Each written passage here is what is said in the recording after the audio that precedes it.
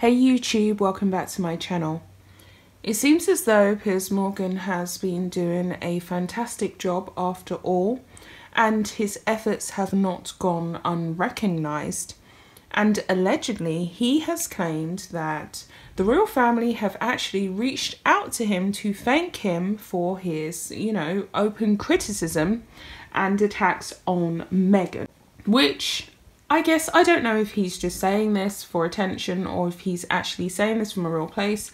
But if this is true, verified information that they did actually contact him for publicly calling out Prince Harry and Meghan Markle for their ridiculous antics, especially following and during the Oprah interview, then it's a win-win all around. And I think that the reason why Piers Morgan would have been congratulated for his public efforts to really shine the light on the lack of morality of Meghan Markle is because we now know that this was causing a great deal of distress and pain and suffering to Prince Philip. Yes, to Prince Philip. And unfortunately, he has passed today. And therefore, they would have been extremely enraged at the time of the airing of the interview because we know for a fact that Meghan and Harry could have postponed the airing of that Oprah interview in light of Prince Philip being in critical care in hospital. That's what I really wanted to say. So I'm going to get into this article, and I think that, yeah, it's a great thing that Piers has been so vocal.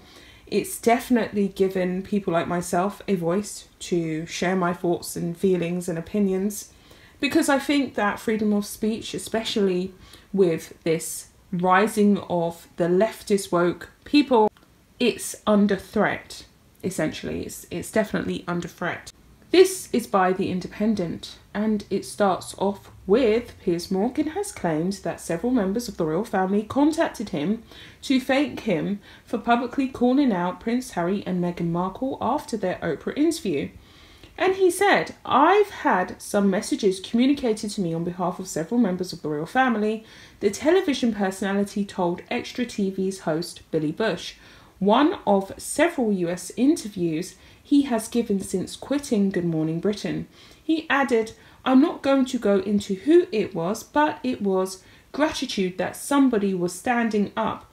Morgan's comments come after he also took aim at the royal couple in an interview with Fox News' Tucker Carlson, where the broadcaster slammed Meghan as the delusional Duchess and accused her of making hundreds of millions off of her association with the royals while trashing the family in public. He said that he hopes that Harry recognises Meghan has a track record of ditching everybody and everyone and everything when they cease to be of use to her, which we know is factually true.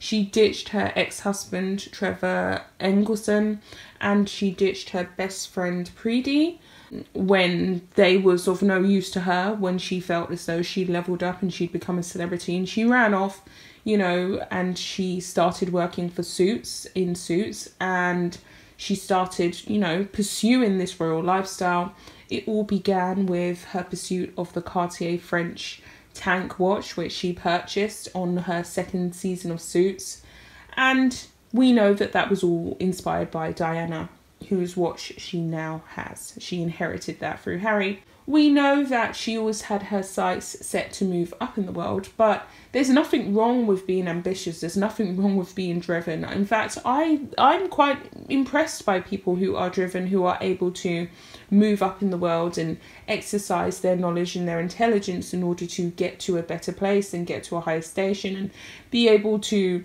you know, give their future generations a better start than they had. There's nothing wrong with that. But do you have to cut off people from your childhood and cease and terminate relationships with people who were in love with you, infatuated with you, just because you want to move up in the world? That's something that I definitely don't agree with, or severing ties with loved ones like family members, people who put food in your belly and gave you the best education, like your father He spent his lottery winnings on Meghan Markle's five star education. He ensured that she had the best. She was the most doted upon child of all three of his children because she was the youngest, and of course, her father felt sorry for her because Doria for a large part of her childhood was locked up for financial fraud. She didn't actually really raise Meghan because of her criminal antiques. Anyway, I've gone off on a tangent, but that's where I'm basically at with it. That's what I do not agree with.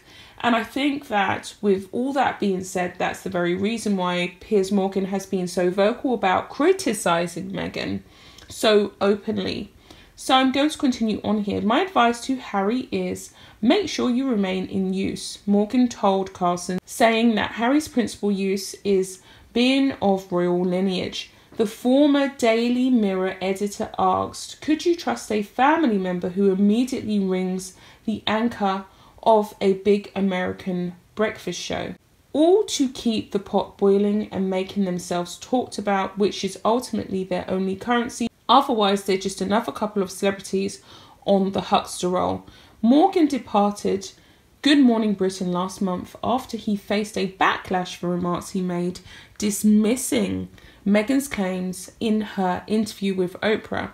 The Duchess had opened up in the interview about her mental health struggles and said she had thoughts of, you know, causing harm to herself during her time as a senior working royal, while also accusing an unnamed member of the royal family of being racist. The network received 57,000 complaints about Morgan after he said Meghan was lying about her experience speaking to Extra TV.